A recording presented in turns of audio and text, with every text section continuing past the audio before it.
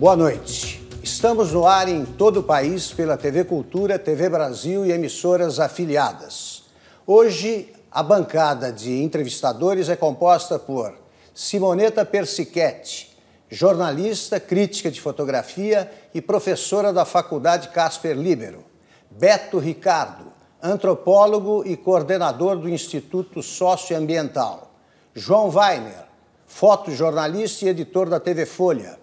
Matthew Schertz, coordenador editorial do Planeta Sustentável e editor de projetos especiais da National Geographic Brasil. E Washington Oliveto, publicitário e chairman da agência de publicidade W. McCann. Como sempre, teremos também as ilustrações do nosso cartunista Paulo Caruso. Como este programa está sendo gravado, hoje não teremos a interação com as redes sociais. Sebastião Salgado, você se tornou mundialmente conhecido e admirado ah, pelas imagens de pessoas em situações dramáticas ou aflitivas, alguma, sempre alguma palavra parecida. O seu último trabalho, Gênesis, é uma sequência deslumbrante de fotos que mostram bichos, paisagens naturais, eh, etnias, várias delas muito antigas quase sempre em extinção. E você disse que nesses oito anos em que você fotografou para este trabalho, você fez uma viagem ao paraíso. É exagero deduzir que nas experiências anteriores você fez estágios no inferno ou no purgatório, pelo menos? Não, eu não posso dizer de forma alguma, porque, na realidade, toda a minha vida de fotógrafo foi a minha vida. Não é que eu fui um fotojornalista, não é que eu fui um fotógrafo engajado, não é que eu fui um fotógrafo antropólogo, não é que eu fui um fotógrafo economista. Eu fotografei o que foi interessante para mim, o que me deu um grande prazer, o que me deu uma grande revolta, ou o que era inteiramente compatível com a minha maneira de pensar, com o meu código ético. Então, é, eu vivi momentos dramáticos, momentos difíceis, é, e vivi momentos de grande prazer nas minhas na minha sequência de reportagens anteriores. Eu acho que mesmo sim. em momentos dramáticos. Não, em momentos tive momentos dramáticos, mas eu não posso dizer que eu é, é, muito dura, é muito forte a expressão viver no inferno. As pessoas que eu fotografei viveram no inferno em alguns momentos. Foram momentos que me machucaram muito, a ponto de eu querer abandonar a fotografia no momento, abandonar, passar, mudar outra coisa. Mas tiveram também momentos de imenso prazer. Quando eu fiz o livro é, Trabalhadores, foram cinco anos de trabalho no mundo da produção. E olha, fotografar as pessoas que trabalham é uma maravilha, porque as pessoas têm um grande é, orgulho no trabalho que elas fazem. Então, para mim, foram cinco anos de grande integração. Quando eu fiz o trabalho com o Movimento Sem Terra aqui no Brasil, Fizemos até um Roda Viva nessa época com o Matina Suzuki, que estava aqui. E eu tive um grande prazer de trabalhar com o pessoal que acabava de conquistar a terra, que eh, começava a viver de uma outra maneira, com uma grande dignidade. Então, eu tive momentos fantásticos também na, na minha outra vida de fotógrafo. Perfeito. Sebastião. Washington Oliveto. Eu acabei de ler há pouco tempo atrás um livro chamado Todo Aquele Jazz, o original em inglês, o All That Jazz, que é um livro que tem uma história interessante. É um sujeito que gosta de jazz, que estudou muito, ouviu muito jazz, e ele pegou personagens como o Chet, Chet Baker, o Lester Young, o Thelonious Monk, de quem ele conhecia bem a história, e ele pegou fotos desses caras, que normalmente são fotos muito fortes, muito dramáticas, e construiu uma mistura de biografia de cada um misturada com ficção. Então ele fez a, a, vida imaginada do Chet Baker, na opinião dele, a vida imaginada do Thelonious Monk, do Lester Young e de muitos outros a partir da foto. tem uma definição dele de uma grande foto que me interessou muito e eu queria saber a tua opinião. Ele diz que olhando aquelas fotos dessas grandes figuras do jazz, ele chegou à conclusão que uma grande foto é aquela que, apesar de ter aquele momento específico, ela permite a quem está vendo ver aquele momento, mas ver um segundo antes e um segundo depois da vida daquela figura. O que, que você acha disso? Olha, eu acho interessante, muito interessante. É... O meu conceito não é muito diferente desse, só que um pouquinho mais largo, um pouquinho mais amplo, de que numa fotografia que dura uma fração de segundo, Eu estou apresentando uma exposição que está começando hoje no Sesc Belenzinho. São 250 fotografias, 245 fotografias. Se eu considero, em média, um 250 avos de segundo, o que é mais ou menos isso, umas eu fiz mais, uma menos, mas em média me daria isso. Todas aquelas fotos juntas me dão um segundo, adicionadas.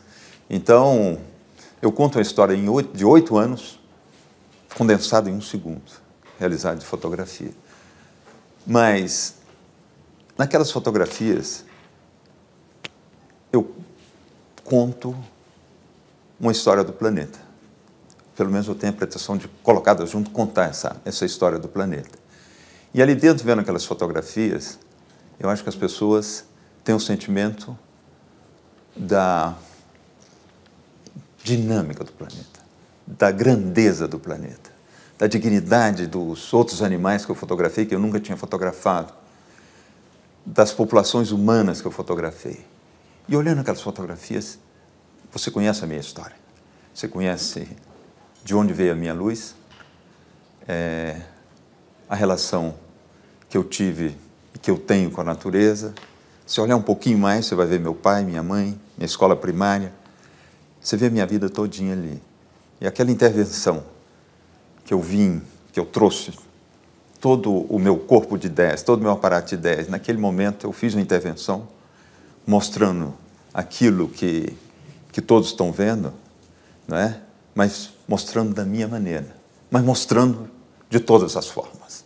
É, eu trago ali dentro tudo isso para fazer a minha intervenção. E uma fotografia é muito mais que aquela fração de segundo, é uma história completa ali dentro, para frente e para trás. Na sua definição, é um segundo para frente, um segundo para trás. Na minha, um pouquinho mais para frente, um pouquinho mais para trás. Simoneta. Mas uma fotografia é muito mais dinâmica do que isso. Simoneta e depois o Beto Ricardo. Sebastião, uh, vendo assim agora, embora sabendo que Gênesis veio depois de um tempo que você parou de fotografar e acompanhando o teu trabalho, eu vejo Trabalhadores, Êxodos e Gênesis como uma trilogia do seu, do seu trabalho.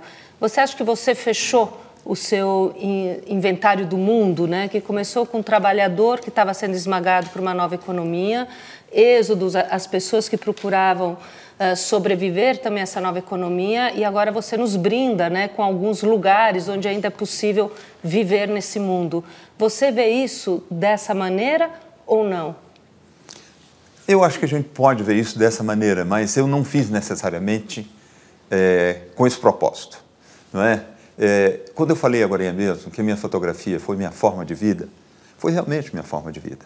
Eu acho que tem que ter uma, na vida da gente tem que ter uma certa coerência com o seu comportamento, sua ética, sua ideologia. E, e quando eu fui fotografar trabalhadores, foi um ex-economista que foi fotografar trabalhadores, foi um ex-estudante é, é, de, de economia marxista, foi uma pessoa que participou né, no movimento de esquerda na, aqui no Brasil, na França. Então, trabalhadores para mim era uma, eu tinha uma enorme motivação de ir. Eu fiz, fazer com um prazer imenso, fiz um grande pedaço da minha vida. Eu tive aquela motivação para fazer. E terminando de fotografar trabalhadores, eu comecei a notar uma coisa muito interessante que estava acontecendo. É que uma palavra que apareceu depois, globalização, mas naquele momento eu vi a globalização. Eu vi países como o nosso, não é? que quando eu era menino, 90% dos brasileiros moravam no campo, vindo de uma maneira brutal para as cidades, é? para participar no, no, movimento produtivo do país, com aumento de indústria, com concentração do, do, dos polos industriais. Vi na China, vi na Índia, vi nesse país todo. E, fazendo trabalhadores, no fim eu comecei a fazer essas observações e resolvi fazer uma história sobre a reorganização da família humana. Então fui fazer êxodos e junto, como eu trabalhei muito antes na África, eu vi os deslocamentos de populações refugiadas, eu vi quantidade de pessoas que atravessavam a fronteira internacional em busca de um trabalho mais digno. Eu coloquei tudo isso no projeto e mais.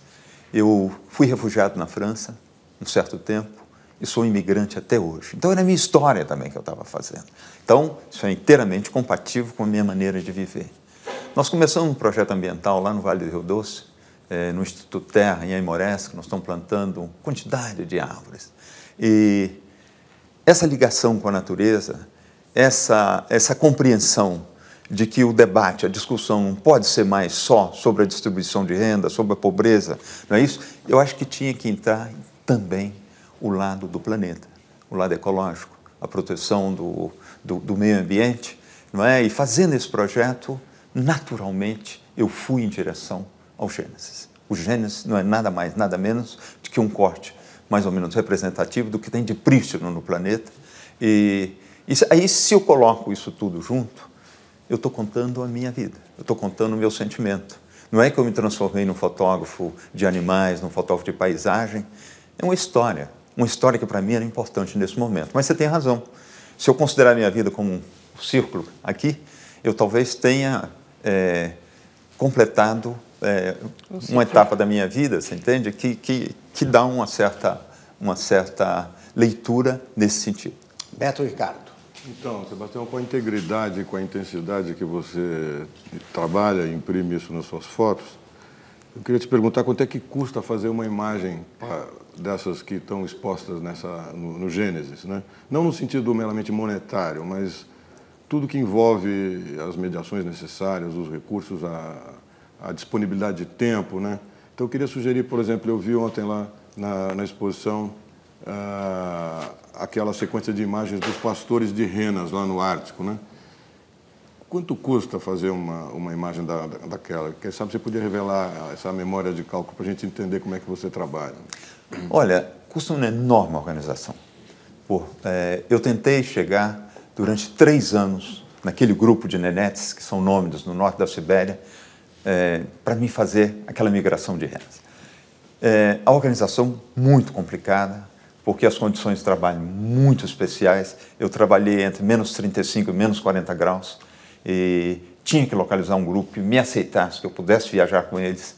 Eu tinha que encontrar alguém que falasse a língua nenete e, e que, ao mesmo tempo, é, falasse inglês. Eu não consegui. Finalmente, eu consegui um tradutor em Moscou é, que falava inglês e, e, necessariamente ele traduzia em russo para o meu guia local e, e, e ele traduzia em nenete para os nenetes. A gente fazia uma tradução mais ou menos em, em, em patamares para chegar a, a, se compreender. Eu tive que criar uma, uma infraestrutura de trabalho, veículos, veículos que pudessem andar na neve para a gente encontrar um grupo de nenetes que ele me aceitasse viajar com eles. E depois que me aceitasse, eu tinha que estar mais ou menos equipado para viajar, como eu fiz com eles, durante 47 dias, estando é, fora, naquela temperatura, durante pelo menos 12 horas por dia.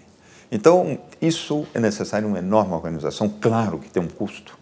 Tinha um custo de eu alugar um, um blindado do exército soviético, do exército russo, que é o veículo desarmado, mas que faz o transporte entre as aldeias da Sibéria no inverno que é muito complicado, né? Você passar com aquele volume de neve, com aquela quantidade de gelo. Um outro veículo com rodas enormes, 1,75m por 60 de largura, com quatro, é, seis rodas é, com tração, para mim poder deslocar, chegar ao ponto de encontrar essas populações. Levar uma certa quantidade de combustível, preparar um helicóptero, que eu sabia que em um momento qualquer eu poderia fazer uma foto aérea já contactar antes. Isso levou muito tempo. E o medo de brasileiro de eu trabalhar numa temperatura daquela. Para um russo não seria um problema maior, mas para um brasileiro, sim. E, então, tudo isso eu tive que organizar. Mas isso era só a história dos nenetes. paralelo à história dos nenetes, eu fiz, preparando essa história, eu fiz uma história no sul do planeta, saindo das Malvinas, indo para a Geórgia do Sul, trabalhando nas ilhas Sandwich e voltando, preparando com um barco. É, fiz uma história aqui no Brasil com os OES, é, grupo indígena na calha norte do Amazonas, mas eu tenho uma equipe coordenada pela Lélia, que é a minha esposa, minha companheira, minha sócia em tudo na vida, que tem uma capacidade de organização fenomenal. E com toda essa equipe, organizamos. E claro que tudo isso tem um custo financeiro. E esse custo financeiro nós obtivemos através de um grupo de revistas, grandes revistas internacionais, que trabalharam comigo, seguindo todo o projeto, três fundações americanas e uma empresa brasileira, que é a Vale, que a partir de 2008 entrou no projeto quando as revistas começaram a perder o poder econômico com a chegada do internet dentro do mundo da publicação. Elas Sebastião, realmente perderam potência econômica. Sebastião, para tentar completar a roda ainda no primeiro bloco, João Weiner e depois Matthew Shirts. Vamos lá. É, eu acho que todo fotojornalista, quando vai dormir, sonha com fotografia. Eu acho que o cara sonha que é o Sebastião Salgado. Você, quando vai dormir, sonha que é quem? eu sonho com tudo que eu faço. Sinceramente, é, eu viajo dormindo. Eu tive uma série de fotógrafos eu tinha uma grande admiração por eles. Eu tive uma, uma grande amizade com o Cartier-Bresson, que é um fotógrafo que eu tinha realmente é, uma grande admiração, com o Álvares Bravo, que são todos fotógrafos que já morreram, é, George Roger na Inglaterra. Mas, na realidade, para mim, a fotografia é, era minha, era a minha vida, era o que eu me interessava fazer é, nenhum desses fotógrafos, a fotografia deles realmente me influenciou. A vida deles me influenciou. Você também sonha com o Sebastião Salgado, então? Não, e o, melhor é que é. Né? Então, Matheus Chaves. Sebastião, você passou, é, você concentrava a sua obra na, numa única espécie, que é a espécie humana, e passou a, com essa última, última obra a, a fotografar animais de diferentes espécies. Se foi, de certa forma, do social para o ambiental e, com isso, pare... me parece que você se entusiasmou e está animado e está otimista. É impressão minha ou, ou você ficou mais otimista ao se voltar para a questão ambiental? Eu fiquei mais otimista me voltar para a questão ambiental. Olha, quando eu comecei o nosso, eu comecei, como nós começamos o nosso projeto ambiental no Vale do Rio Doce, eu estava saindo de uma reportagem muito dura. Eu fiz uma história sobre as migrações, que foi apresentada aqui em São Paulo, no Sesc Pompeia, no ano 2000. Eu saí machucado daquela história. Eu vi a morte de uma maneira terrível, eu vi a violência provocada por nós mesmos. Eu não acreditava mais que a espécie humana tinha uma possibilidade de, de sobrevivência. Eu acho que a gente estava indo diretamente contra o muro. E, nesse momento, eu me retirei da fotografia.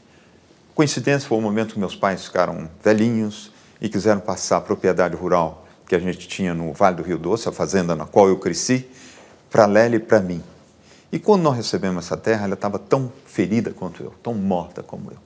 Um vale que tinha sido um vale fantástico, ecologicamente fantástico. Quando eu era menino, essa fazenda teve mais de 50% de cobertura florestal de Mata Atlântica. Eu cresci no paraíso, como você falou.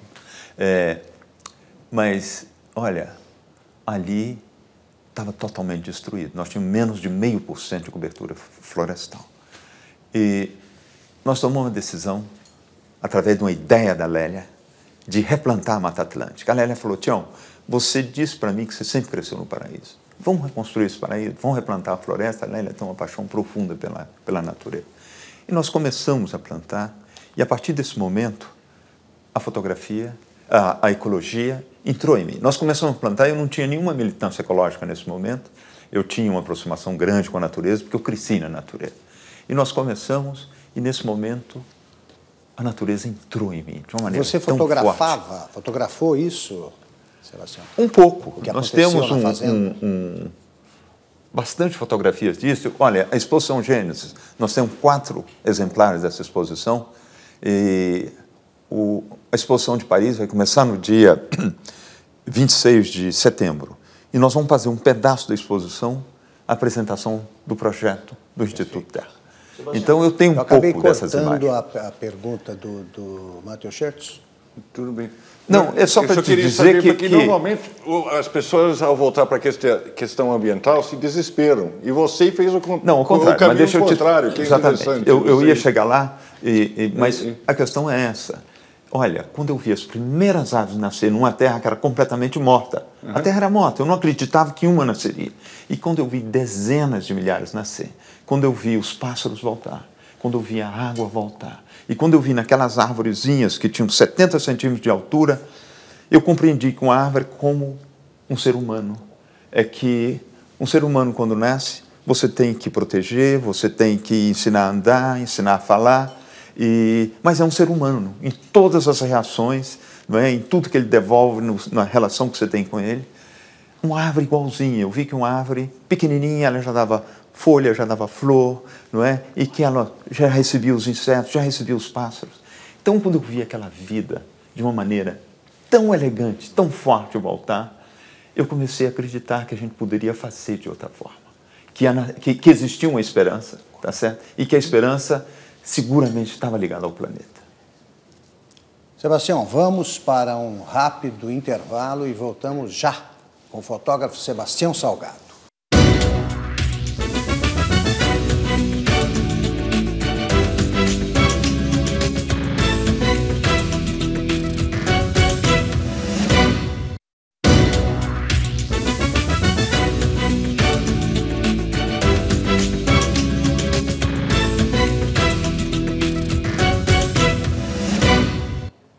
Voltamos para a entrevista com o fotógrafo mineiro Sebastião Salgado. Sebastião, antes de passar a palavra ao Washington Oliveto, queria te perguntar, fazer uma pergunta com base em uma declaração que você fez agora há pouco. Você disse que no- do- por um determinado período você deixou de acreditar na espécie humana. E você diz também no, no- no livro, na introdução, que você ficou muito impressionado com a capacidade de recuperação da natureza, né? É rapidíssima, os bichos voltam, as plantas crescem, etc. E você disse que a natureza tem solução. E o homem? Ele tem defeitos de fabricação insanáveis, pelo que você viu, ele também tem recuperação? Olha, pelo que eu vi fotografando Gênesis, é, o Gênesis eu fiz uma viagem no planeta e fiz uma viagem um pouco na nossa história e descobri que nós somos muito mais velhos que eu imaginava. Nós temos 10 mil anos, temos 50 mil anos. Eu encontrei com essas populações que eu fotografei que estão vivendo exatamente da mesma maneira que nós vivemos há 10 mil anos, 15 mil anos, 50 mil anos, é, várias coisas. O que é essencial para nós já existia. É, a ideia de comunidade, ela já existia. A ideia de solidariedade já existia Sim. da mesma maneira. é? O amor já existia. Então, algumas coisas que são importantíssimas, as verdadeiras coisas importantes na nossa sociedade já existiam. Nós tínhamos já uma quantidade de bens materiais que nós só quantificamos, nós só aumentamos, só fizemos um- uma produção em, em grande escala para o grande número que nós somos hoje, mas já tínhamos antibiótico, anti-inflamatório, uma série de coisas. É, então, é, eu tenho uma grande esperança que, em um momento essencial qualquer, e possivelmente esse momento não está tão longe quanto nós imaginamos, hoje, com o aquecimento global do planeta, nós estamos tendo um movimento, uma aceleração de modificação de temperatura muito maior do que a gente poderia prever que fosse. É, e a gente risca de ter que mudar o nosso comportamento em muito curto prazo e de fazer uma volta muito maior que a gente imagina em direção ao planeta. E que possivelmente no momento, no momento essencial, no momento dramático, a gente possa compreender e fazer juntos algumas ações que possam permitir que a gente viva melhor nesse planeta, ou que a gente continue a viver nesse planeta. Perfeito. Washington. Sebastião, se, se Gênesis tivesse uma trilha, ou talvez até tenha, uma trilha sonora, quais seriam as canções de Gênesis? Washington, eu cantei o tempo todo que eu estava fotografando Gênesis. eu, eu descobri uma forma de me concentrar. Quando eu usava ainda filme, hoje estou usando uma câmera digital, de eu tinha que me manter concentrado, eu tinha que manter dentro de um fenômeno fotográfico que eu estava realizando, eu tinha que me ligar completamente a ele. E aquele, aquele momento de mudar o filme, a cada 32 fotografias, que eu trabalhava com câmera de formato médio, no Gênesis, e anteriormente com 35 milímetros, cada 36 fotografias, é, naquele momento de tirar o filme da câmera, proteger o filme, colocar um outro da caixinha, colocar ali dentro, eu quebrava a minha sequência de concentração. Então, eu descobri, não que eu tenha sido um propósito meu, mas um dia um, uma equipe da televisão alemã estava fazendo um filme sobre meu trabalho na China. E à noite, nós estávamos no mesmo hotel, eles me chamaram, me colocaram um, um fone no ouvido, na câmera, para me ver a imagem, e eu comecei a ver que eu cantava praticamente todo o tempo que eu fotografava. E aí eu vi que era a forma que eu tinha descoberto de me manter completamente concentrado, criando uma linha musical que eu me segurava nela. Você entende? E na hora de trocar, eu estava cantando e continuava fotografando, eu estava cantando. Então, para mim, a música de Gênesis são todas as músicas populares brasileiras que eu que aprendi durante cantava, toda a minha exemplo? vida, todas as rancheiras que, que eu aprendi naquele mais interior de Minas. Por exemplo, que, que, música você cantava? Olha, eu passo de uma a outra que você não pode imaginar a velocidade, você entende, de um ritmo a outro. Mas é o popular brasileiro. É o popular brasileiro, absolutamente o popular brasileiro e o que chamam hoje é, música é, é, sertaneja, a gente chamava de rancheira naquela época, Isso. música do interior. Eu sou do interior, cresci na roça e essas músicas para mim são. Aimorés. E Aimorés. Então, para mim, essa é a música do Gênesis. Foi a música da minha vida.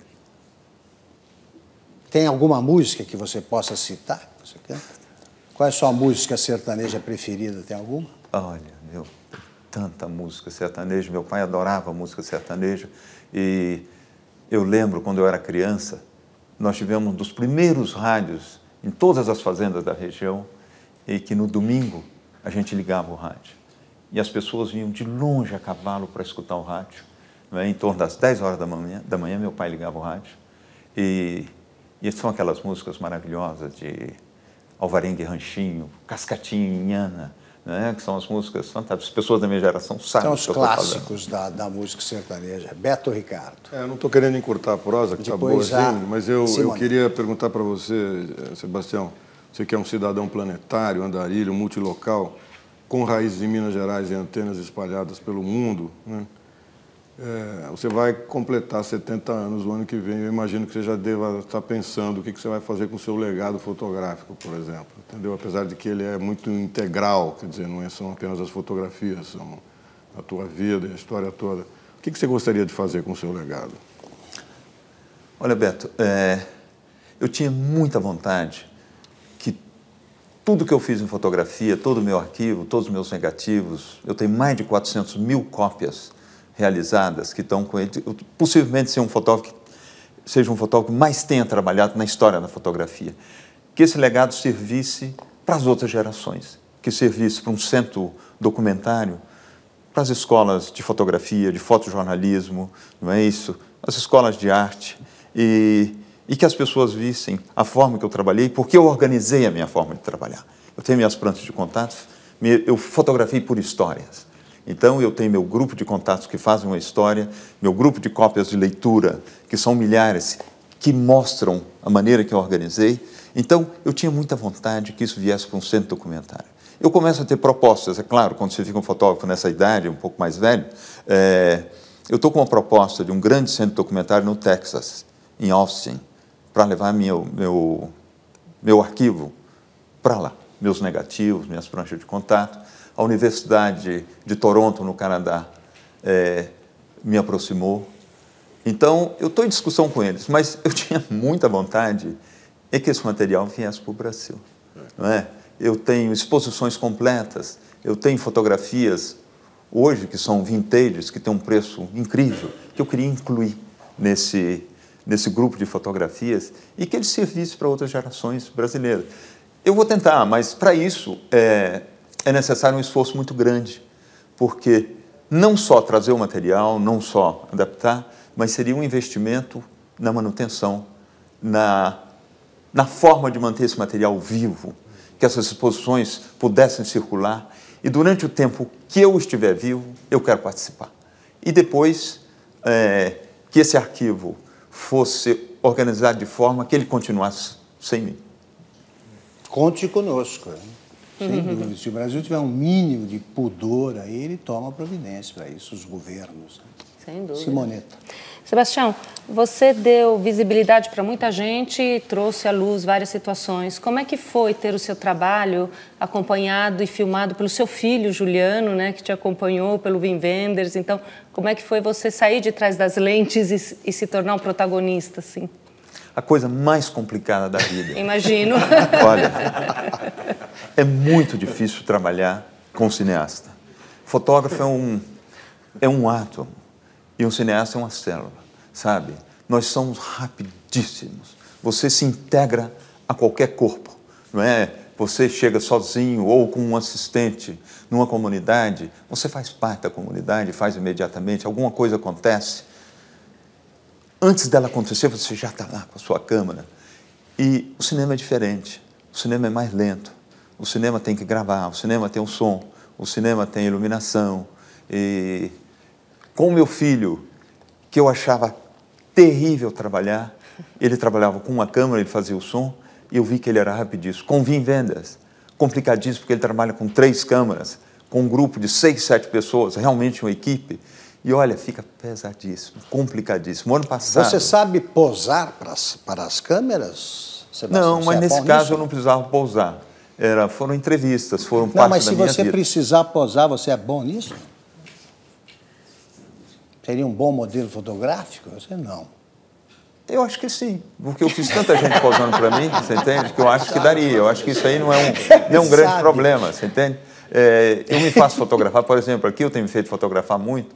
Eu, eu sei que eu ajudo os fotógrafos. Entende? Eu sei, eu sei como eu queria que se colocasse para mim, eu também me coloco. Então isso aí não é um grande problema. Mas no cinema é diferente. Não é necessário posar. É um, é um corpo estranho que entra na sua fotografia. O ano passado, eu e a Lélia tiramos férias aqui na Bahia, no Morro de São Paulo. Eu vim novinho em folha. Cheguei em, lá no Instituto Terra, a equipe do Vim estava com o Vim. Olha, em 10 dias eu estava mais cansado de quando eu fui nas férias, sabe? E, e o cinema nunca está satisfeito. O cinema você tem que fazer, refazer, repetir. A mesma questão é colocada várias vezes. Olha, a câmera não funcionou direito, a câmera número um. Aí você vai de novo. Aí foi o som da outra que não, não, não foi. Olha, é profundamente cansativo. É, Sebastião. João? Você citou já algumas vezes a Lélia, falando do teu filho. Tem uma coisa que é uma constatação até da vida, alguns grandes talentos da história da humanidade, como você, tem uma mulher que é uma poderosa chefona. Sei lá, John Lennon com a Yoko Ono, uh, o Cristo, o grande escultor, a Jean-Claude. A Lélia é uma poderosa chefona com você? É. Total. A Lélia tem uma potência de fogo, você não pode imaginar. A Lélia, a Lélia tem uma capacidade de organização, de coordenação, uma capacidade de mando. Olha, eu eu sou o que fala, não é o que comunica muito, a Lélia que faz. Na nossa organização fotográfica, ela que coordena realmente tudo, ela que, que sabe das, das contas, ela que sabe dos preços. Logística. Ela que sabe da logística, ela que sabe da organização, ela que sabe dos contratos. Né? A questão que o Beto me colocou, ela que sabe realmente de tudo. E na questão ecológica, todo mundo fala, ah, o Instituto Terra, do Sebastião Salgado. É não, mentira, o Instituto Terra da Lélia. Porque ela que é o presidente do Instituto. Eu sou testemunha disso, eu vi é. isso lá. A ela pergunta, que organiza, a pergunta ela que do, Beto, do Beto Ricardo foi mal endereçada. Tinha que ser feita a, a mulher de Sebastião Tem que ser feita a Lélia. E João. a Lélia, olha, eu, eu acho uma injustiça enorme em relação à Lélia. Porque o fotógrafo é como a ponta do iceberg. Não é? Você só vê o fotógrafo em cima, mas atrás você tem uma organização incrível. E, e, a, e a pessoa que organiza meu trabalho, para mim realizá-lo, que, que me dá todas as condições de trabalho, que me dá um equilíbrio emocional enorme, afetivo enorme, e que organiza toda a apresentação do meu trabalho, que a Lélia tem um gosto extremo, um gosto fantástico. Ela que cria, ela que desenha os livros, ela que é a curadora do trabalho, ela que coordena toda a apresentação do meu trabalho. Então, é a pessoa que eu amo. Eu adoro a Lélia, nós vivemos juntos há 50 anos, que bom. Mas você tem 100% a razão na sua pergunta. É a Lélia que manda. João Weiner. Vamos lá. Sebastião, é, a gente vive Matheus hoje... Schertz em seguida. A gente vive hoje num mundo que está inundado de imagens, né? Tem fotografia por todos os lados, as pessoas fotografam loucamente com seus celulares, publicam. Você acha que essa overdose de imagem que a gente está submetido é, faz com que o fotojornalismo perca um pouco o poder transformador que ele tem? Ou já teve mais, ou tem menos agora do que teve há pouco tempo atrás? Eu aproveito para perguntar se você fotografa com celular. Olha, eu acho que não. Eu acho que essa overdose de imagem, ela já existia é, eu acho que a gente vê muito menos imagens que a gente via há 20 anos atrás. Quando a gente tinha aquela câmerazinha, aquele shotzinho, quando você tinha a sua pequena Kodak, você ia lá na loja que revelava seu filme, você copiava todas as fotos. Você chegava em casa, você via sua fotografia, você fazia um álbum, o álbum era importante, com o telefone isso tudo acabou. Você fotografa, você vê um pouquinho, você vai fotografar, você fotografa tanto que você não vê nenhuma. Então, é, eu acho que no termo fotografia, a gente usa menos a fotografia no, no, no âmbito comunitário, no âmbito familiar, do que a gente usava antes. A fotografia passou a ser uma linguagem, para mim, muito mais ampla. Hoje, com as redes sociais, não é? com a internet, com, com a fotografia, ela é muito mais usada que a imagem contínua, porque ela usa menos memória. E, mas o verdadeiro número de fotógrafos os fotógrafos reais, fotojornalistas ou fotógrafos mesmo, são mais ou menos os mesmos. Isso não mudou. Para ser fotógrafo, você precisa ser fotógrafo. Você não precisa ter um telefone, você não precisa ter uma boa câmera para ser fotógrafo. Você precisa ser fotógrafo. Você precisa amar a fotografia, amar o que você faz e, e viver densamente para ela. Então, eu acho que isso aí não mudou em nada. Isso não quer dizer que a fotografia vai existir por muito tempo. Possivelmente com as mudanças tecnológicas, não é isso? A câmara fotográfica passa a ser uma outra coisa e vai evoluir, num momento ela pode desaparecer. Mas no momento atual, não. Eu acho que a fotografia tem a mesma potência. E fotografar com o meu telefone celular? Fotografo sim. Você entende? Fotografo, eu tenho. E hoje, com o meu novo telefone celular, que tem 16 gigas, putz, eu faço umas fotografias bonitinhas e em cor. Você entende? O que eu não uso também. Eu faço, olho, acho muito bonitinho e terminou, fica ali. Mas, Mas as que eu uso mesmo são. Não põe no Instagram, não põe no Facebook, nada. Não, eu não uso o Facebook. Isso eu, eu sou da geração mais antiga. Eu, eu sei que eu tenho um Facebook. Mas eu é já falso tinha um, é verdadeiro? Eu já tinha um falso e que eu nunca tinha visto, que mantinha o falso. E agora, com o início do, do projeto Gênesis, com a primeira exposição, a primeira apresentação é, feita no, no Museu de História Natural em Londres, uma jovem brasileira que se chama Júlia Sotile, jovenzinha, Júlia, uma de dinâmica, ela foi contratada pelo Museu de História Natural para organizar o meu, meu Facebook. E ela fez, fez de uma maneira fantástica. E esse Facebook está por aí ligado. Mas eu nunca vi o falso, nem nunca vi o real. Eu nunca me interessei realmente a ver. Eu sei que as pessoas me mandam uma série de coisas, se, se eu quero me conectar com LinkedIn, com uma série de coisas assim, mas eu nunca me contactei. Eu, eu acho que, olha, na realidade, eu não sei enviar um e-mail. Eu sei enviar pelo meu telefone, mas usar o computador eu não sei, não tenho interesse. As minhas, hoje eu trabalho com a câmera digital, mas eu não edito na tela do computador. Eu edito ainda na prancha de contato, me faz uma prancha de contato a partir do arquivo digital. Eu termino realizando as minhas cópias de leitura e quando eu termino a minha seleção, eu realizo uma série de negativos 4 por 5 polegadas e volto ao ampliador e tiro. Na realidade, eu uso uma câmera digital como eu usava uma câmera de filme. Eu mudei a base. Antes eu registrava minhas imagens num suporte plástico, que era o filme. Hoje eu registro num suporte digital. Que é o Pix. Mas é tudo, mas o processo é exatamente o mesmo. Perfeito. Matheus Sebastião, eu queria fazer uma pergunta como, como editor. É, eu, eu, eu admiro muito é, o, o, lançamento desse livro, a escala desse livro, a qualidade desse, de, desse seu livro. E numa época em que as revistas, muitas revistas estão sofrendo cortes de custos e, e tendo dificuldades de sobrevivência e tal, é, eu queria saber se você pode nos dar dicas de modelo de um modelo editorial que funcione e de quantos livros você pretende vender, quantos livros você tirou e se vai vender no mundo inteiro. Oh, o livro está sendo vendido no mundo. Eu vou começar de trás para frente. Ok. O, mundo, o livro está sendo vendido no mundo inteiro. Ele foi tirado em seis línguas. Possivelmente, com a exposição na China o ano que vem, passe uma, uma sétima língua. E se a gente chegar a fazer uma apresentação mais longa nos países árabes, uma oitava língua. Mas, por um momento, são oito línguas. É, o livro foi tirado em 50 mil exemplares, que a gente imaginava 50 mil? 50 mil. A gente imaginaria que seria suficiente por algum tempo na taxa, mas 50 mil duraram 20 dias.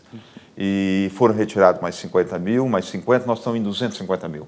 250. 50 mil, 250 mil em quatro meses, quatro meses de tiragem.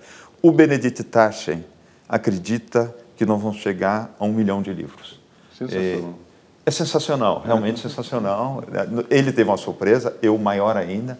Agora, existe um segundo livro Existe um outro livro que faz 70 centímetros, fechado, aberto, 70 centímetros por um metro. Uhum. É um livro de colecionadores, eu vi, eu vi, um livro muito especial, um livro caríssimo, esse tirado em uma tiragem limitada, limitadíssima. São 3 mil exemplares, sendo 2.500 exemplares que são vendidos a um preço razoável de torno de 4 mil, 5 mil dólares, e um outro um pouco mais caro, 500 exemplares, vendido, começou a ser vendido em torno de 9 mil, 10 mil dólares, e esse vai aumentando de preço em função do, do que ele começa a ficar raro. Foram tirados em cinco, cinco séries de 100. Uma série já desapareceu, uma segunda está em processos de desaparecimento também, então ele está indo também, estão vendendo muito, muito bem. Beto, já já eu te passo a palavra, nós vamos agora para outro ligeiro intervalo. Voltamos logo com o fotógrafo Sebastião Salgado.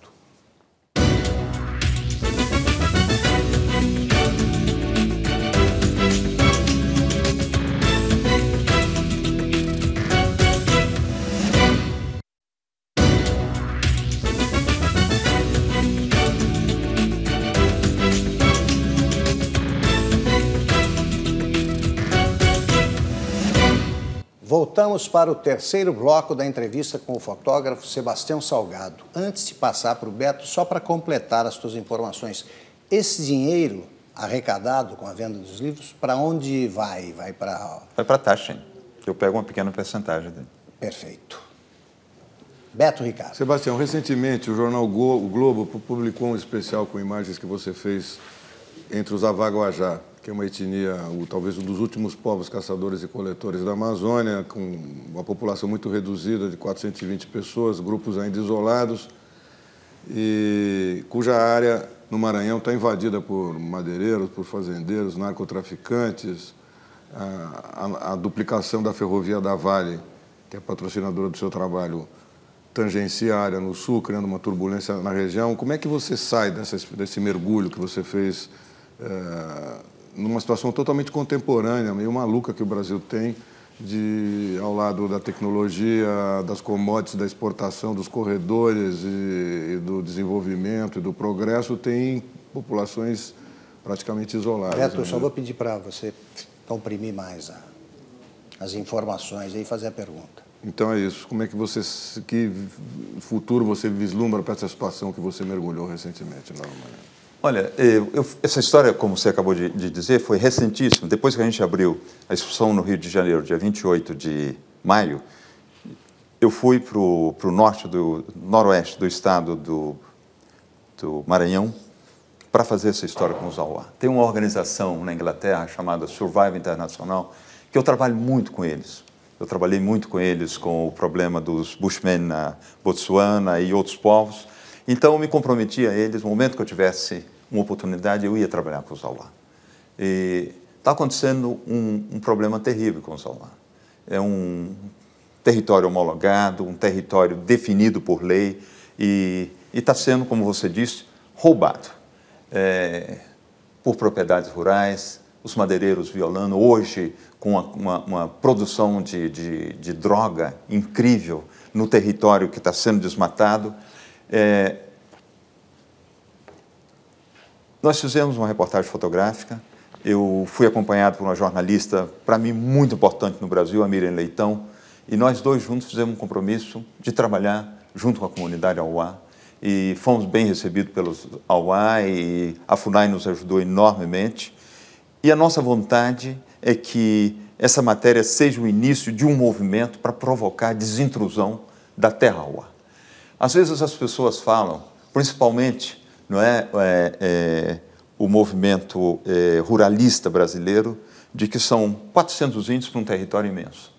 E as pessoas esquecem de falar que aquele território não é só território indígena. Aquilo, terras da União, são territórios de todos os brasileiros, dos nossos filhos, dos nossos netos, das gerações futuras, e que é um território brasileiro que está sendo invadido, que está sendo roubado e que tem que ser protegido. Aquele é território da União e os, indígenas são os guardiões desse território da União. Estão vivendo numa situação dramática e o que é fantástico, esse território que deve fazer talvez o tamanho da Bélgica, ou uma vez e meia Bélgica, é, é um território relativamente grande, mas não tão grande assim, está hoje inteiramente cinturado de fazendas e mordendo dentro do território da União e indígena. E ali dentro vivem ainda três grupos de Auá que nunca foram contactados. Vivem ainda na pré-história e pressionados por um mundo hipermoderno de fazendas, de caminhonetes, de tratores, de telefone. E isso que eu acho a coisa mais fabulosa no Brasil, onde a Amazônia brasileira possui mais de 100 grupos isolados que ainda não foram contactados, não é? e que eu acho que nós teríamos uma obrigação imensa de preservar esse território. Eu tinha muita vontade que o meu próximo corpo de trabalho fotográfico fosse em direção aos povos indígenas da Amazônia. Olha. É o teu próximo projeto. Não sei se é, eu, eu quero é, que seja. Vamos ver se eu consigo fazer. Desculpa a interrupção. Ah, é para interromper. Em, dois, em 2000, há 13 anos atrás, quando eu tive o privilégio de estar com você lá em Aimorés, você estava iniciando o Instituto Terra, você explicitamente, numa noite, me contou o projeto Gênesis e me disse, olha, eu estou calculando pelo tempo que eu tô, tenho para planejar isso, o desgaste físico que vai dar e o tempo que eu tenho para fazer, esse vai ser meu último grande projeto, porque quando eu terminar eu vou estar tá velho demais para fazer fotografia desse porte. Hoje você está tá explicitamente mais novo que em 2000. é, qual é o teu próximo projeto? É isso aí. Olha, o, o, o Washington, fotografia que nem bicicleta. Se a gente para de pedalar, a gente cai. Então tem que ir. Você entende? Eu fui fotografar uma vez o Dom Manuel Álvares Bravo no México, quando ele estava fazendo 100 anos. E eu cheguei e falei, oh, Salgado, eu tenho que te mostrar minhas fotografias. Eu falei, não é possível, Dom Manuel ainda fotografando ele estava começando a inchar as pernas, ele tinha uma bacia de água quente que ele colocava o pé todo dia ele fotografava o pé dele dentro da bacia. Quer dizer, fotografar, eu acho que vou continuar fotografando. Eu não sei por quanto tempo, é, fisicamente eu acho que eu estou bem, mas é necessário muita organização, é necessário. Eu estou cansando mais necessariamente, mas eu estou com muita vontade de fazer esse projeto brasileiro. Esse projeto Amazônia talvez não seja só o Brasil, mas o centro principal do Brasil, que é o principal da Amazônia, é brasileiro. Olha, nós não temos, nós vivemos aqui, não é? Somos descendentes de imigrantes, a boa maioria da gente. Nós temos uma grande componente indígena em todos nós que estamos aqui dentro. Nós não temos história, nós vamos buscar a história média, do, a, a, a, Idade Média não é? dos europeus, nós vamos buscar a história asiática, nós vamos buscar a pré-histórica do, dos outros. E nós esquecemos que nós temos a nossa história, uma história fabulosa. Através dos nossos indígenas, a nossa pré-história ainda existe hoje com os, os grupos isolados. E eu acho que a gente tinha que fazer um trabalho, e eu queria fazer esse trabalho, no sentido, não, não fazer um trabalho é, para a minha geração, mas fazer trabalho para os meninos que estão na escola secundária, para os meninos que estão na universidade. Você entende? Quem sabe se a gente não poderia ajudar a criar uma autoestima de respeito por essas culturas indígenas que têm que ser protegidas. Nós não podemos eliminar a nossa história. Eliminando a floresta, como nós estamos eliminando hoje, invadindo os territórios não é, da União, onde os índios são os guardiões, nós estamos destruindo essa grande referência. Nós somos um dos poucos povos no planeta que convivem ainda com o seu passado. Então eu queria mostrar, eu queria através dessas fotografias, ver se a gente conseguir que conseguisse que os brasileiros tivessem um respeito para essa cultura. Não é que nós não temos. Se a gente olha o que os canadenses fizeram com os indígenas no Canadá, eles destruíram toda a cultura indígena no Canadá. O que os americanos fizeram com os indígenas nos Estados Unidos foi uma catástrofe. O que os é, australianos fizeram com os aborígenes foi uma catástrofe. O Brasil foi diferente. Nós temos uma instituição que eu tenho maior respeito por ela, que é a FUNAI. Nós temos uma quantidade de antropólogos que tiveram um comportamento fantástico, e de indianistas e, heróicos e, e, que fizeram com que, que fizeram com que o Brasil seja o único país do mundo que tem 12,5% de território indígena e que ainda tem uma grande quantidade de povos indígenas que então, estão aqui, que eu então, espero que Washington, então você combina com a Lélia, é só falar com ela, que ela faz o projeto. Exatamente. Ele vai Sebastião, eu queria retornar um pouco ao que o João e o Augusto estavam falando antes e, e até complementar, né? Na, me corrija se os números estiverem errados. É, na época do analógico, você dizia que você viajava com 600 filmes e 28 quilos na bagagem. Agora você viaja com 800 ou 1 quilo de cartão de memória. 800 gramas. 800 gramas. Você se vê fazendo um próximo trabalho, talvez esses dos índios, só usando o celular e aí lindo, leve e solto?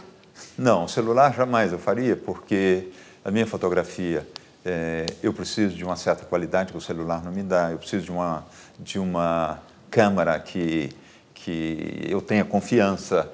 Eu aprendi a trabalhar com essas câmeras, eu tocando essas câmeras é uma continuidade dos meus dedos, do meu olho, da minha mão, o que o telefone não é. Eu aprendi a ver através do visor. Eu não sei ver através de uma tela, é, é, esse pequeno vídeo que a câmera tem, da minha câmera digital, eu desligo, eu não vejo, que é um fator de desconcentração. Então, eu vou continuar na câmera, isso não tenha dúvida. Você, Sebastião, é, fez uma caminhada de 850 quilômetros na Etiópia, a pé. É, eu queria que você contasse um pouquinho como foi essa caminhada e aproveito para te perguntar o que, que é mais difícil, caminhar 850 quilômetros ou passar por uma bateria de entrevista como essa que você tem passado aqui? É muito mais fácil caminhar os 850 quilômetros, não tenha dúvida. Mas também não é difícil caminhar os 850 quilômetros. Eu tinha um pouco de medo, porque quando eu comecei a caminhada, a pé porque é uma região de montanhas que não tem estradas. Eu tinha uma vontade imensa de entrar nessa região que eu queria fazer uma viagem que fiz no Velho Testamento.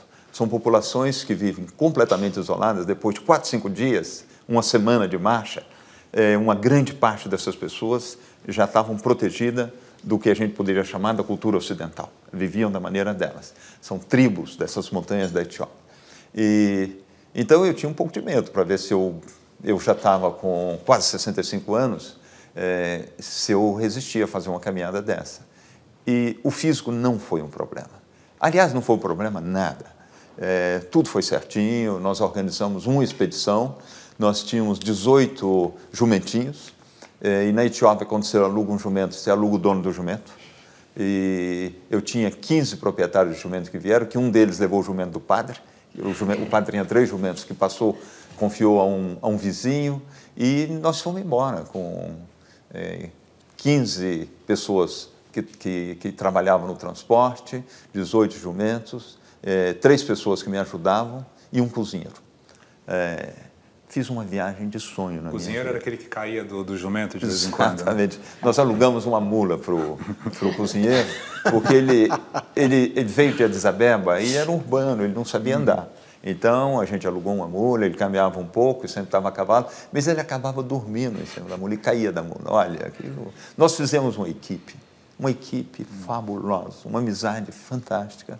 E fizemos, e atravessamos. Eu tinha um, um, Eu sempre tenho um telefone satélite e levei um de reserva, o caso que tivesse um problema, porque uma organização chamada Geodecoberta na Suíça é, organizou essa, essa viagem para mim. Uma organização que faz viagem para cientistas, para universidades, e a cada dois dias com o GPS, eu dava a minha posição, mas eles me informavam se eu estava indo na direção certa através do controle de fotografias satelitais, satélite. Uhum. Então, eu fiz a travessia, foi talvez a viagem mais fantástica que eu Sebastião, fiz toda a minha nessas vida. viagens todas, a propósito, qual foi o lugar mais bonito que você fotografou?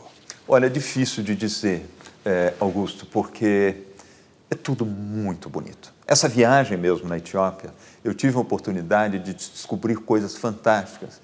Olha, o início da nossa história, não é? Da nossa história de referência, que é a população egípcia, eu descobri por que ela aconteceu.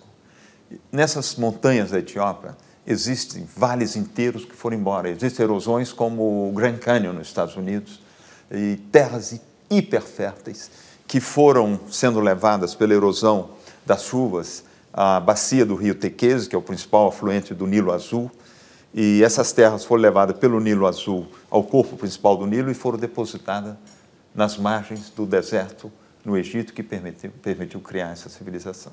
Para mim foi assim uma coisa tão incrível de ser a primeira pessoa que pôde andar por lá e de constatar tudo isso. Eu e foi, eu fiz uma viagem no mundo judeu-cristão, porque os etíopes, a maior, grande maioria são coptas, hoje uma parte é, é, muçulmana, e, e um pequeno grupo de judeus. E o pequeno grupo de judeus negros da Etiópia, uma grande maioria, foi embora para Israel na metade dos anos 80, mas ficou ainda uma, uma pequena parte. Então, eu fiz uma viagem no mundo judeu-cristão, que na realidade é o meu mundo. Eu não era um estrangeiro ali dentro, os comportamentos eram mesmos. E uma vez eu chegando numa aldeia profundamente cansado, né, que a gente caminhava muito, para às vezes durante um dia, eu cheguei cansado, vieram as senhoras, retiraram a minha bota, vieram com uma bacia de, de madeira, uma gamela cheia de água, tiraram a minha bota, lavaram meus pés, enxugaram e beijaram meus pés, no símbolo de humildade profunda do cristianismo. Olha, eu fiquei tão emocionado de poder viver o início do cristianismo, poder conhecer o início da minha história nessa viagem. Foi um fabuloso. Sebastião, quando você começou a fotografar animais em Galápagos, é, você mudou de equipamento? Não, não mudei de equipamento, mudei de comportamento. Hum. Eu, para mim era complicado fotografar os animais. Eu, até então eu só tinha fotografado um único animal, nós. Uhum. Então eu cheguei em frente a uma tartaruga, uma, uma Galápagos, uma tartaruga gigante daquela, 250, 300 quilos, enorme tartaruga. Eu quis fotografar, fotografar a tartaruga. Me aproximando, ela foi andando, ela foi embora, não quis ficar muito perto de mim. Eu precisava dessa tartaruga, eh, de, uma, de, uma, maneira de, de, posicionar essa tartaruga que pudesse ver a personalidade, a dignidade dessa tartaruga. E e foi complicado. Aí eu falei, olha, passei horas pensando, eu falei, vou tentar chegar a essa tartaruga no nível da tartaruga. Então, coloquei de joelhos. Quando eu coloquei de joelhos, ela parou. Começou a olhar para trás. Aí eu deitei. Comecei a caminhar em direção a ela com o meu cotovelo. Nesse momento, ela veio a mim. Ela veio a minha direção. Quando ela começou a andar para mim, eu comecei a andar para trás para dar uh, a entender a ela que eu estava respeitando o território. Olha, ela veio a mim, veio me ver com a mesma curiosidade que eu tinha de vê-la.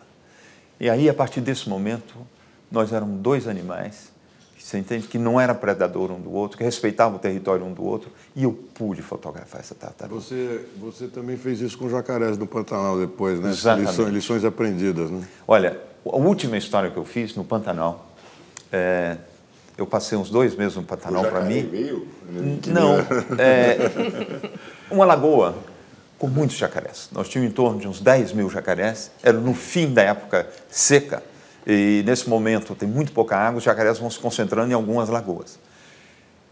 Eu tentei chegar nesse grupo de jacaré também da mesma forma que eu tinha chegado na tartaruga, me escondendo um pouco no, no mato. E os jacarés são vivíssimos, eles vêm de 180 graus, eles começaram a andar todos para a água. Eu falei, como é que eu vou fazer? Eu falei, vou chegar em jacaré, vou vir de jacaré. Também fui de deitado, fui me arrastando em direção a eles. Eles acharam aquilo engraçadíssimo. Eles começaram a sair da água. Olha, teve jacaré que riu, você entende? Subiam nos ossos, absolutamente. Absolutamente, olha, eu te digo, é verdade. Eles se colocavam em cima do outro. Eu pude trabalhar com esses jacarés sem nenhuma restrição. Me encostar quase os jacarés. Meu filho que estava filmando fez a mesma coisa. Ele veio, a partir do momento, quando era meu filho que estava muito perto, eu falei, olha, estou com medo que os jacarés comeram meu filho aqui, porque eram jacarés enormes, né? É, jacarés do Pantanal. Mas, olha, pude trabalhar com jacaré sem o mínimo problema. Na realidade, eu descobri no projeto Gênesis que você tem que respeitar tudo. Para fotografar a paisagem, você tem que respeitar a paisagem. Você tem que tentar compreender a dignidade da paisagem. Eu, no Alasca, no Brooks, no Brooks Ranch, eu tinha um aviãozinho que me colocava num lugar, num ponto, e eu subia aquelas montanhas, que são muito fáceis, a ascensão é muito fácil, é muito alto, mas é muito fácil a ascensão. Eu começava uma ascensão às quatro, três meia, quatro horas da manhã, porque você tem muita luz, era no mês de junho, e eu chegava lá em cima, ali para as nove horas, a gente subia às vezes mil, mil duzentos metros, eu sentava em um ponto, sozinho, e tentava compreender aquela luz, tentava compreender aquele mundo mineral, tentava compreender aquelas marcas, aquelas erosões provocadas pelas avalanches no inverno. E olha, a partir desse momento eu me sentia numa unidade total com o meu planeta, sabe? Eu me sentia totalmente natureza. O planeta me dava esse poder de trabalho. E eu passava a ter um amor tão grande naquela relação que as fotografias, eu espero que elas transmitam essa, esse estado transmite, de espírito. Transmite. vamos, vamos para mais um intervalo ligeiro e voltamos logo para o último bloco da entrevista com o fotógrafo Sebastião Salgado.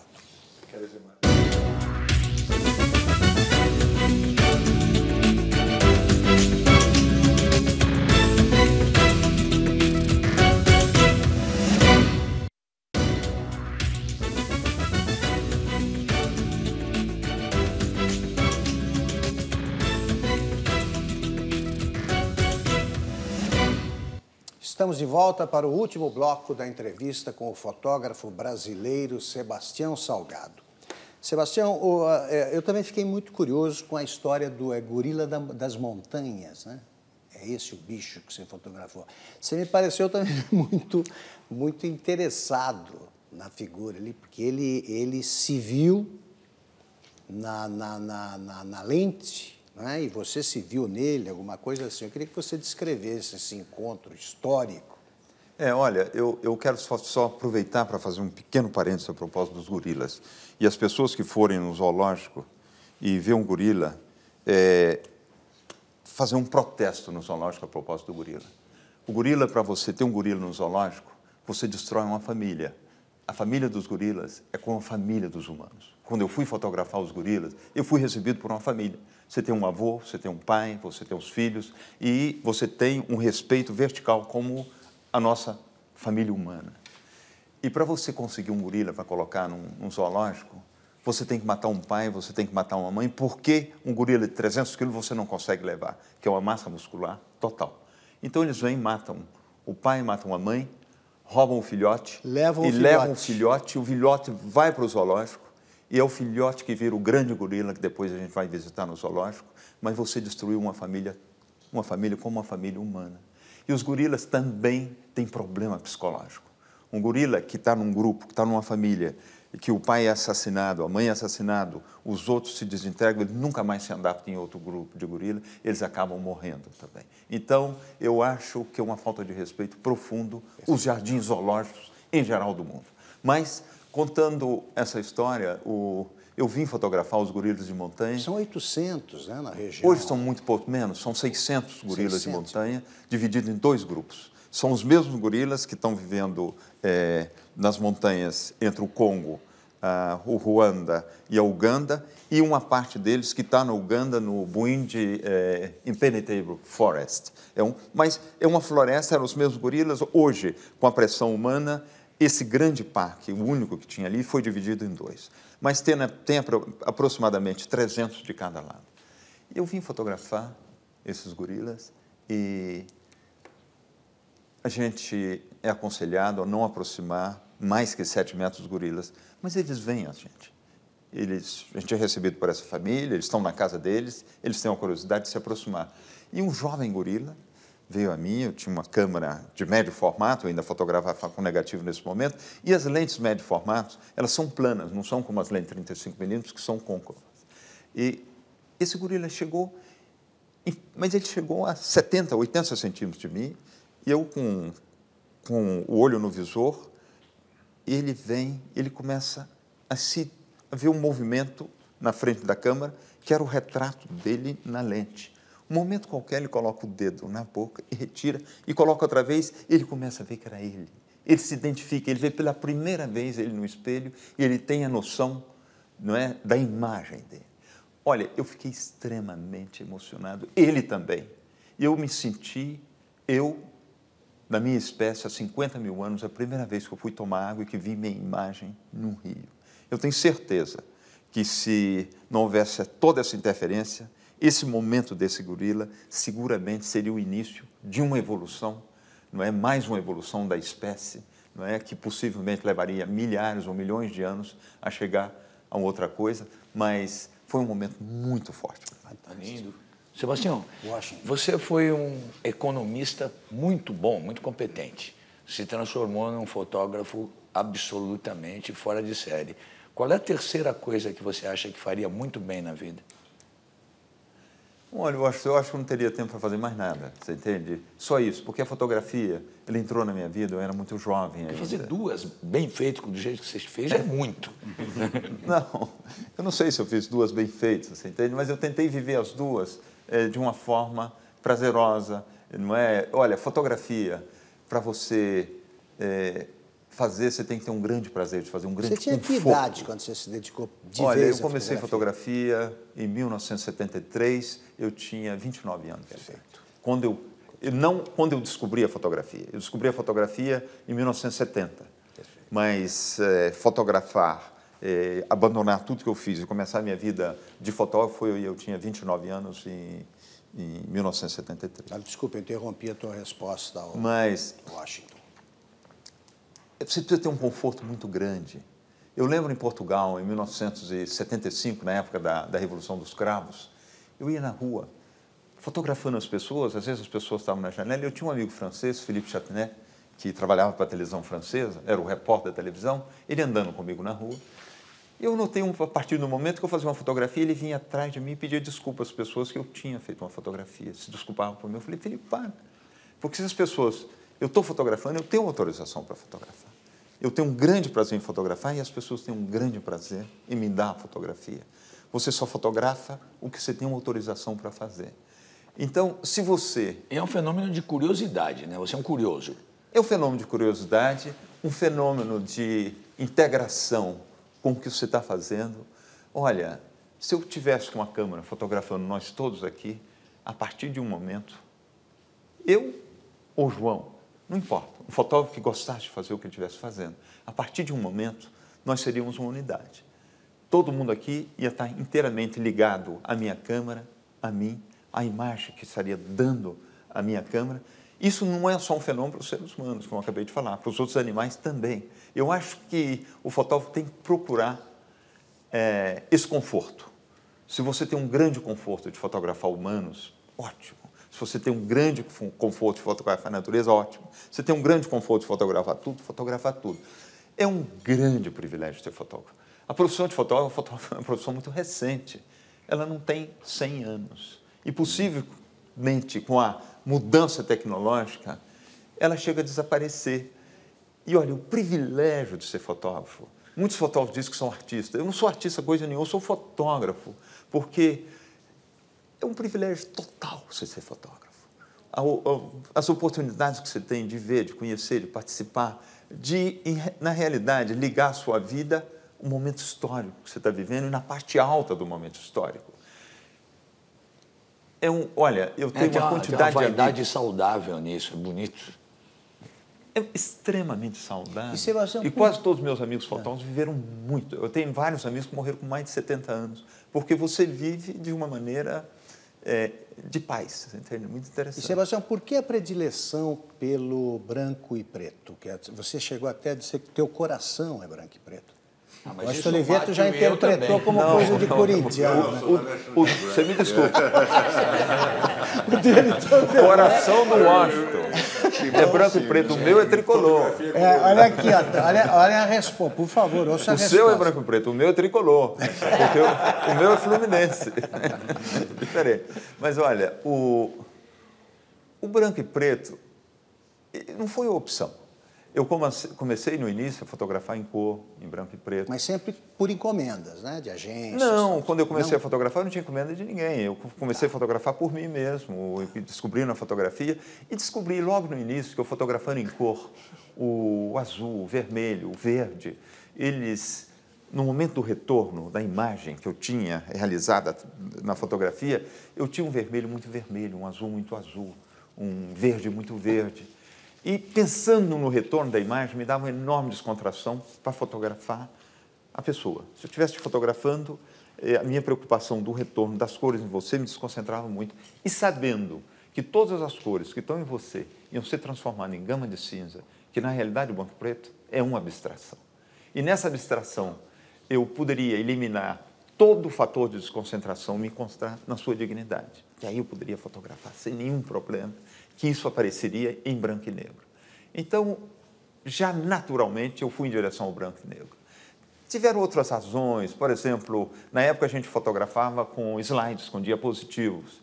E o diapositivo, você vinha, montava o diapositivo, seu filme estava ali todinho, a sequência, você selecionava três ou quatro fotografias que você gostava mais, as outras você abandonava e você rompia a sua sequência. Para mim, eu sou um contador de história e essa sequência fotográfica que eu tinha na minha prancha de contato, uma prancha atrás da outra, me permitia reviver a história que eu, que eu fotografei. Olha, uma vez eu estava fotografando no Equador e eu tive uma hepatite. Eu não tinha muito dinheiro para voltar, para me tratar e voltar a fotografar outra vez, eu continuei fotografando doente. Mas passei maus momentos e tudo, realizei meu trabalho. Voltei para a França, fiquei melhor e tudo e fui editar minha fotografia. No momento de trás, eu fiquei doente igualzinho o momento que eu estava fotografando. Porque você vive a sua história outra vez. E depois que você faz suas tiragens de leitura, você continua a viver sua história. Então, o branco e preto me dava essa possibilidade. Hoje, ainda muito mais. Eu fotografo com duas câmeras e a câmera digital permite uma sequência perfeita entre uma câmera e outra. Eu faço uma fotografia com a câmera, outra depois, uma sai depois da outra na minha prancha de contato. Ainda melhor do que era antes. Perfeito. Então, e outra coisa com branco e negro, quando você olha uma fotografia branco e negro, você, Augusto, você vai ter instintivamente um, uma tendência a colorir a imagem, porque tudo é em cor, nada é em branco e negro.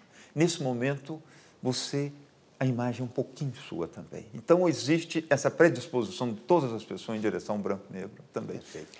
Você acha que a foto que você fez do atentado ao Reagan, que é pela Gamma ainda, né? Você estava começando... Não, pela Magna, eu já pela Magna. Você acha que marcou ali alguma, a tua entrada mesmo para o fotojornalismo ou foi só mais uma foto daquele momento? Você foi um dos únicos ou um dos primeiros a fazer a foto do atentado ali? Não, de forma alguma marcou. Eu, quando fotografei eh, o atentado, eu já estava na agência Magno, que é a agência mais complicada, mais difícil de entrar no mundo. É, eu já estava realizando uma reportagem então, para o New York Times. Conta a história dessa foto, como é? foi... Como é? Só para quem não conhece a história. Não, foi em 1981. Foi Era um, uma reportagem que eu estava realizando para o New York Times Magazine para os 100 primeiros dias do presidente Reagan. Então, eu fui até a Casa Branca, fui aceito na Casa Branca para fazer uma série de uma semana de fotografias do presidente Reagan, e a gente estava trabalhando para a capa da revista do New York Times em 12 páginas. Então eu tinha que realizar uma sequência muito grande. Mas essa série de fotografias que durou um minuto, porque depois eu cronometrei, tinha uma câmera de televisão fixa, eu vi que o atentado durou um minuto. É, ela não fez nada mais nem nada menos na minha vida. Ao contrário, essas fotografias foram utilizadas nesse momento, foram fantásticas, me deram uma grande entrada econômica, mas eu retirei essas fotografias. Essas fotografias nunca mais foram vistas, porque eu fiquei com muito medo. Assim que eu cheguei de volta à Casa Branca, eu encontrei um fotógrafo que tirou um cartão de visita que me deu. Fulano de tal, presente no atentado do, do, é, Do, Reagan. do Kennedy, Do do, Kennedy. não, não do, do Roberto, do John, Do John. do John. Eu falei, olha o perigo que eu estou correndo. eu já tinha realizado um trabalho de muitos anos na América Latina, na África, e aquele minuto de fotografia poderia matar a minha referência de fotógrafo. Então, eu e a Lélia discutimos, essas fotografias foram apresentadas uma só vez e elas E desapareceram. todo o Eu folclore que se apresentei. conta, então, é todo um folclore criado, né? Sobre o quê? Que você ouviu os tiros e como você era sul-americano, achou que não era nada, saiu correndo, Não, não, tudo isso é verdade. Eu- houve, houve um, um- um- aconteceu uma história dentro da história. Eu estava, na realidade, eu comecei a trabalhar com o presidente Reagan na Casa Branca no sábado, quando eu cheguei na Casa Branca, me apresentaram. Na segunda, eh, no domingo ele fez uma saída só para mim, porque ele não estava bem na, pes- na opinião pública americana. Então o New York Times o principal jornal americano, a principal revista americana, e eles estavam altamente interessados na história. Então, no domingo pela manhã, ele era protestante, ele saiu da Casa Branca, sem avisar ninguém na imprensa, sem nenhuma segurança, entrou numa pequena igreja protestante que tem em frente à Casa Branca, exclusivamente para mim, fiz a série de fotografias, e na segunda-feira ele foi no Hotel Hilton fazer uma conferência, né, um, dos hotéis de Washington, fazer uma conferência para a indústria, principais personagens da indústria de construção americana, e eu queria ir. Solicitei os caras da Casa Branca, o pessoal da imprensa, é, eles falaram, ó, Salgado, aqui dentro da Casa Branca, dentro do avião presidencial, que eu ia fazer uma viagem com o presidente na quarta-feira, isso era na segunda, nós íamos até o Illinois, eles me iam trazer no, no avião do presidente. É, eu falei, isso nós podemos te dar, mas fora da Casa Branca nós não temos autoridade para te acreditar nisso. Eu insisti muito, que eu tinha uma capa, tinha 12 páginas, e eles falaram, ó, então vamos te dar um agente do FBI. Esse agente te leva, ele te protege, não é uma credencial, ele faz, é um facilitador do seu trabalho. Eu falei, vamos embora. Então a gente me pega e vamos, entramos num caminhão, desses caminhões baú. Quando chego dentro do caminhão baú, tinha uns 30 agentes, todos vestidos em civil, cheio de uso, cheio de pistola automática, plá, plá, fazendo aquela coisa que todo policial faz. E eu começo, eles me apresentam, eu começo a falar com o meu inglês de brasileiro, e eles começaram a gozar da minha cara. E rir, você entende? Morrendo de rir. E fizemos uma relação engraçada. Sabe? Chegamos no hotel, eu fui fotografar. Um momento eu vejo três fotógrafos saindo. Eu sentia que estava aproximando o fim da conferência do presidente. Os três se deslocaram atrás da cena. Eu falei com o meu agente, eu quero ir ali. Os caras estão indo esperar o presidente na porta do hotel, estava na cara. Ele falou, ali você não pode ir, porque os três estão de pool. Pool é quando você tem um personagem muito importante e que você não pode ter 200 fotógrafos, eles enviam dois ou três fotógrafos que depois vão dar as imagens gratuitas para todos os outros. Era um fotógrafo da United Press Internacional, da Associated Press e o do Time Magazine. Aí eu falei, como é que eu chego na porta? Ele falou, só você fazendo a curva, dando a grande volta dentro do hotel. Eu falei, vamos embora. Eu comecei a correr. E ele falava para mim, olha, quando o presidente dos Estados Unidos tiver, se você corre, a gente pode atirar em você. Eu falei, mas você está me protegendo, vamos embora. Ele corria, ele é muito gordo. E tinha uma placa do FBI gritando, FBI, FBI, e nós fomos correndo. Quando eu cheguei na porta do hotel, eu tinha três aparelhos. Eu tinha uma Leica M5, nessa época eu trabalhava com Nikon, eu tinha uma Nikon com 24 milímetros, e outra com, não, com a 28 milímetros e outra com a, uma 180 milímetros. Quando eu chego na porta do hotel, eu correndo com a minha Leica M5 na mão, com um flash, eu escutei os tiros. Fiz uma foto no momento que ele recebe o impacto. É, no início, efetivamente, eu pensei que era foguete, nosso presidente latino-americano, naquela época usava muito foguete, na África, mas imediatamente eu realizei que não era. Era muito seco e muito rápido. Eu falei, estão atirando no homem. Entende? E eu correndo, quem estava fazendo a proteção? Meus colegas do caminhão baú. Eles me deixaram entrar dentro do círculo. Eu fui o único fotógrafo que entrou no círculo da, da, da ação. Os outros três fotógrafos ficaram atrás do carro, da limusine do presidente, e fizeram todos a mesma fotografia, dele entrando no carro. E eu pude entrar, fazer toda a sequência fotográfica. Eu usei primeiro a minha 28mm, que era lente que eu podia trabalhar mais uhum. próximo, eu trabalhei junto. Eu tenho uma foto do assessor de imprensa, do Brad, ele caindo e o sangue voando da cabeça. Uma foto tão violenta que ninguém nunca utilizou. Uhum. É, eu circulei, fiz, eu terminei aquela câmera que estava intacta, 36 fotografias, e ainda tirei a lente, troquei com a 180, e, que estava com filme artificial, um filme 3.200 graus Kelvin, feito para o interior, e as fotografias fora ficaram completamente azuis. E mais eu fiz a sequência com aquela câmera, depois termino com a minha M5, eu tinha a impressão que a ação ia numa velocidade incrível e eu estava fotografando em câmera lenta. Depois um médico me explicou que a ordem que eu dava ao meu cérebro para fazer tinha uma defasagem entre a execução. Na realidade, eu trabalhei em uma velocidade incrível, porque em um minuto eu fiz 76 fotografias, ainda troquei uma lente. Sebastião, só para. Vai dar tempo, nós temos dois minutos. Beto vai fazer a última pergunta, então. Não, eu queria voltar para o Gênesis, que é o livro e a exposição que está no Sesc Belenzinho até o final do ano. Perfeito. Saber o que, que vocês estão achando dessa exposição e como é que foi a escolha deste local. Talvez a Lélia possa te ajudar a responder essa pergunta. Qual a escolha desse é, local? A escolha do, do lugar. A escolha desse local e, enfim, foi uma escolha nossa. Nós quisemos fazer no SESC. O SESC, para nós, é a materialização da democracia. A democracia é um conceito. No SESC é uma realidade. Porque o acesso à cultura, o acesso ao lazer que o SESC oferece, ao fundo, no fundo, a classe trabalhadora, não é isso? De São Paulo, é a mesma que a alta burguesia de São Paulo tem o direito, não é? quase que exclusivo de ter. Ali todos têm. Então, para nós, muito importante. É uma equipe de uma seriedade absoluta e, e o local magnífico. Permitiu a Lélia desenhar uma exposição linda. São praticamente 300 fotografias, hiper bem distribuídas, e eu quero aproveitar e convidar toda a população de São Paulo, todos os jovens, todas as crianças na escola para vir visitar essa Bom, exposição. Não percam. Infelizmente mesmo, né? Nossas expressões estão dizendo isso. Nosso tempo acabou. Eu queria registrar meus agradecimentos a Simoneta Persichetti, ao Beto Ricardo, ao João Weiner, ao Matheus Schertz, ao Washington Oliveto e ao Paulo Caruso. E agradecer especialmente ao Sebastião Salgado, que encontrou um espaço na sua agenda sempre apertadíssima para nos conceder essa entrevista. Boa noite, boa semana a todos e até a próxima segunda.